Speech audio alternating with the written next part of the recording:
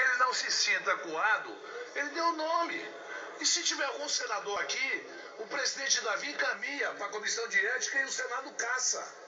Porque nós não podemos admitir que o presidente seja chantageado. Veja bem, o presidente é o chefe da nação. Ele fere interesses. Por isso que eu digo sempre, ex-governador, ex-presidente, ex-prefeito, passa um mandato e fere interesses. Muitas vezes interesses não republicanos. E você torna inimigos. Você cria inimigos. Você imagina um presidente da república recebe uma lista tríplice para nomear numa, três nomes para nomear um ministro. Quando ele escolhe um, seu presidente, os outros dois não vão gostar dele e não vão ficar nem um pouco satisfeitos com ele.